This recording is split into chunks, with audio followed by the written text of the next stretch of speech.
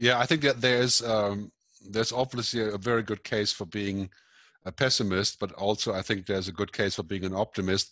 Essentially, I think this is a great reset for uh, how we've done things until now.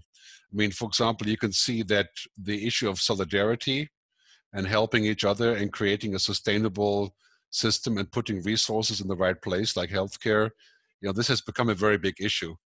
Uh, and you can see that solidarity is now becoming something that people are discovering how important that is, you know, that we help each other.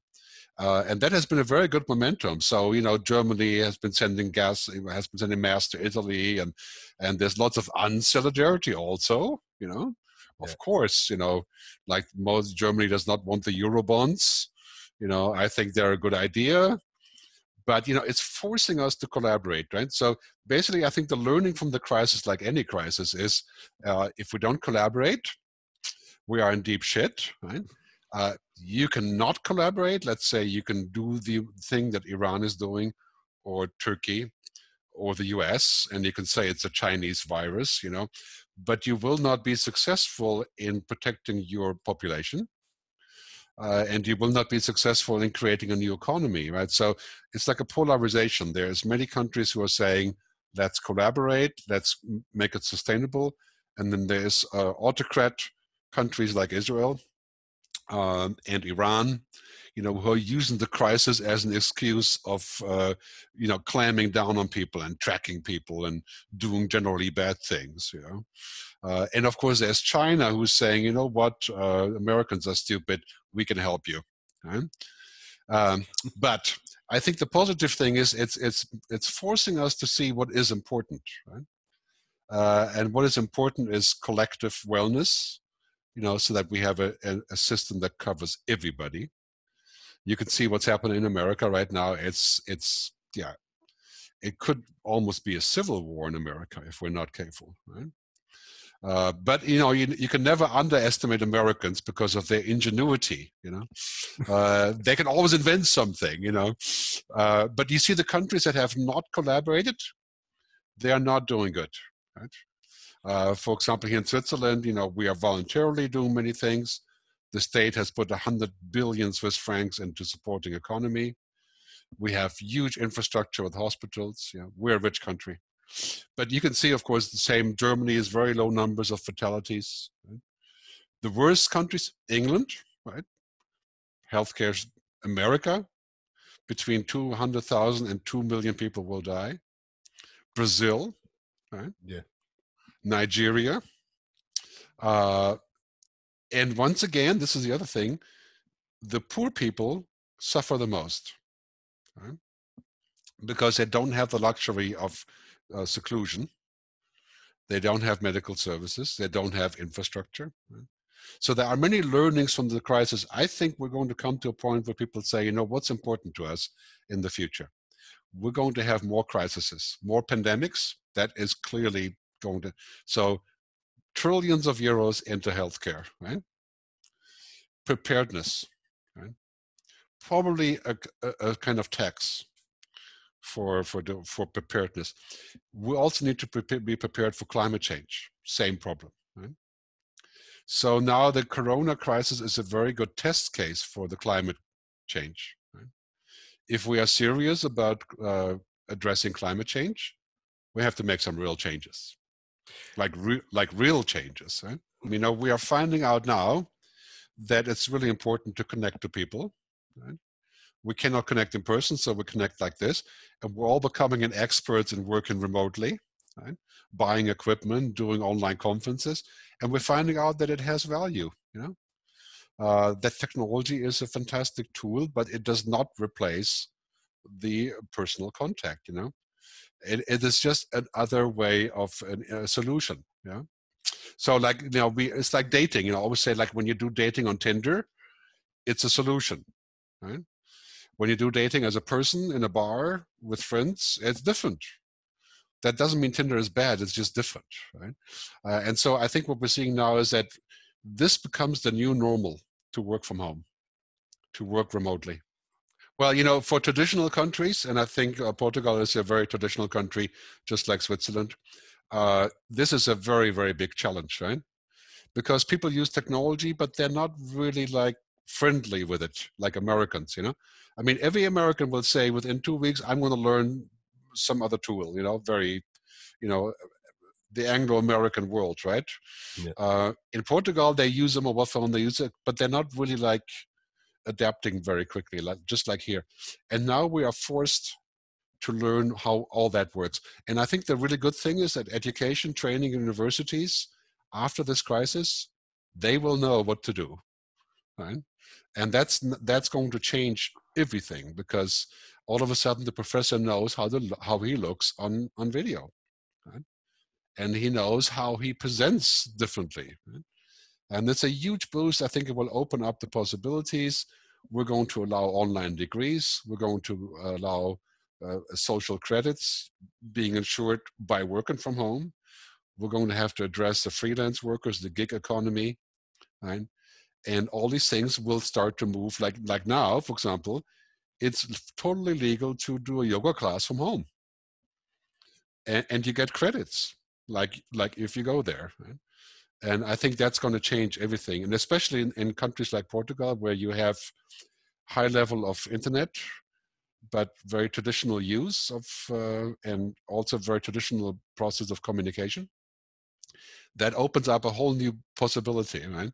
And also the governments that are not going to support the population that are not doing the right thing they will get kicked out right? And this is the moment of young people and women like in new zealand jacinda ardern and in finland uh, sanna marin uh, and many other places, they're the ones doing the right thing. And the, the politicians that don't understand technology and that don't understand what the public needs, like US, right? You never know what happens next in the US. It's such a corrupt nightmare. Uh, but in most countries in Europe, if if this is the moment where you have to prove that you are a leader, right? Yeah. Otherwise, otherwise you're gone. We have what I call the great transformation, right? Uh, some people call this a great depression, like another depression, uh, and it, it is, right? I mean, it's fundamentally a total loss of GDP of 30% or so for this year, right? Like mind-boggling, right? Worse, worse than September 11th, the banking crash, and even World War II. Right? So uh, the impact is fundamental. I think what's happening now is that we're shifting into a new kind of uh, economic thinking. So if we just think about profit and growth, that was before Corona, right?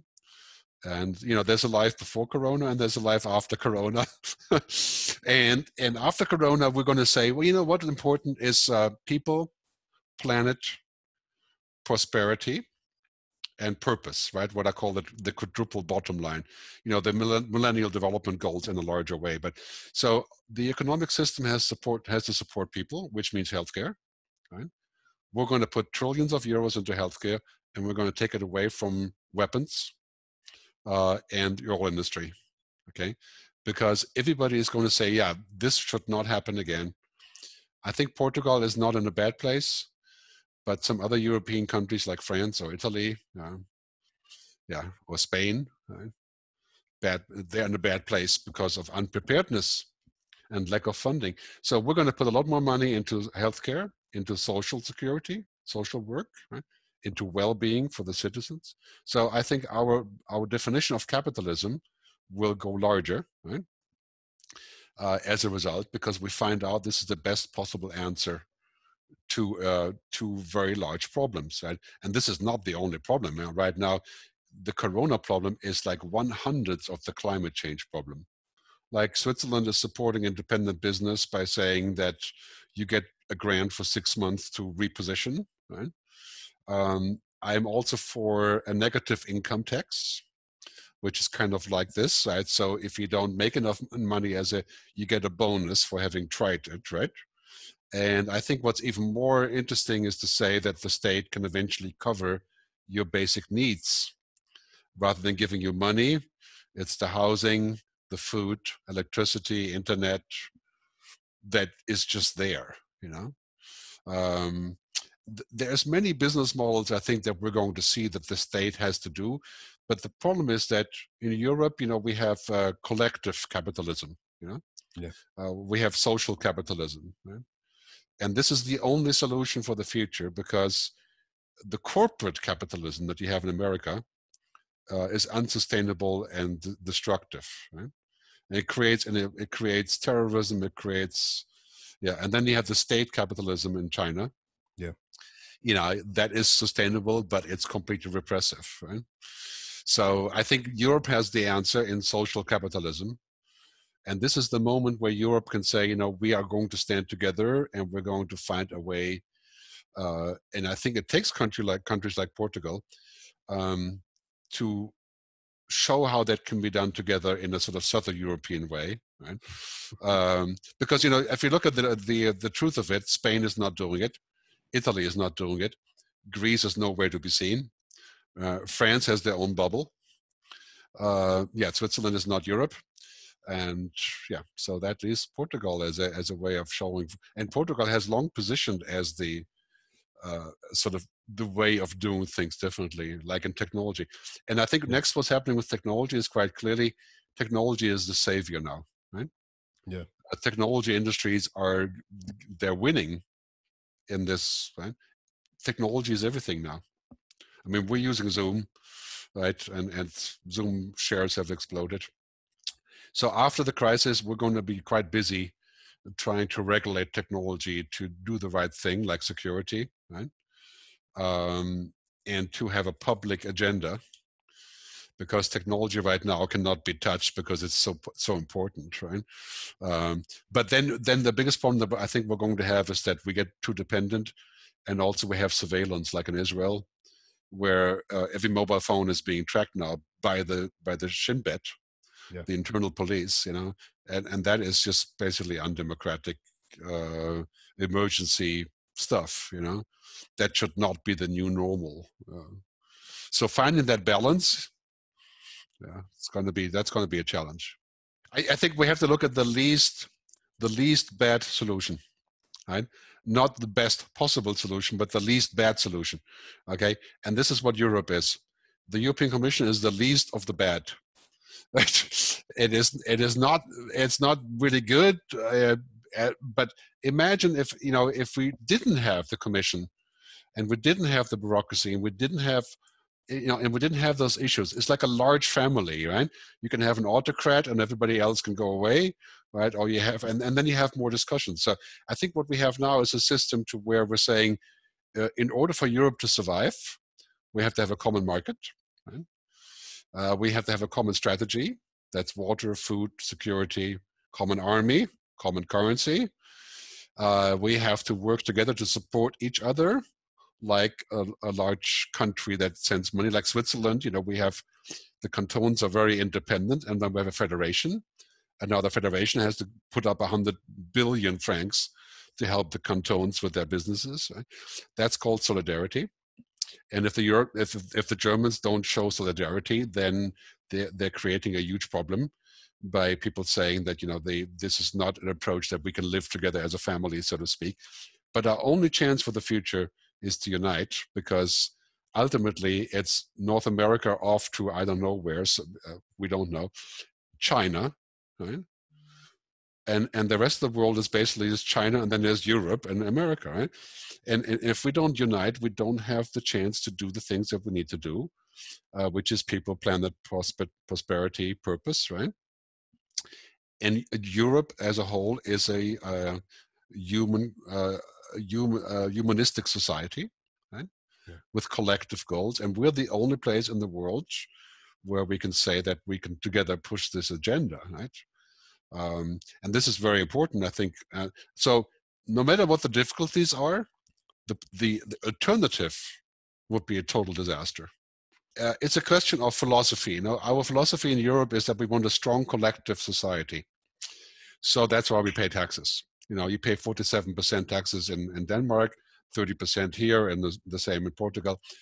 And that's why we set priorities to live in a world that we want to live in, you know, a world that is not polarized like America and a world that's not a central authority like China, right? And we make those choices. And, and so um, when you have a lot of tradition like you have in Europe, there are many discussions and problems, right? But but face the reality, like if we were able to combine our research, uh, as we have already been doing, our, our scientific research, our armies, right? We could save like 15 billion, a trillion euro, euros, right? Uh, our cybersecurity. And now I think the, you know, if you look at the next wave of challenges, okay, more pandemic, that is coming, right? Because of the way that we're uh, genetic engineering, right? Who's going to say what is okay and what is not, right? Artificial intelligence, right? The work, right? the future of food, energy, right? And on top of that, climate change, which means if we don't take dramatic action, we're going to have 300 million climate refugees coming to Europe, right? Right. So, I mean, basically, it's forcing us to say, let's forget about all the stuff we talked about, like, you know, uh, uh, the minor things. And this is what's happening in a crisis. In a crisis, comes down to the bottom line, right? Because everything else is not important. It's survival and and transformation, right? And that's the good thing about the crisis. We're finally saying, you know what, that's true, but there's more important considerations now. You know, for example, what are we going to do about climate change in Europe? Um, and how we're going to implement the things that we should implement without seeing the catastrophe first, right? Uh, so this is coming right next year. You know, I, I, think we're seeing right now it is possible to save on energy. Oil is not important. Right? The oil price is declining. We're going to new forms of energy. So I think it's the mindset of people is changing by saying, you know, what is important and why do we need to collaborate? Right? Are you ready?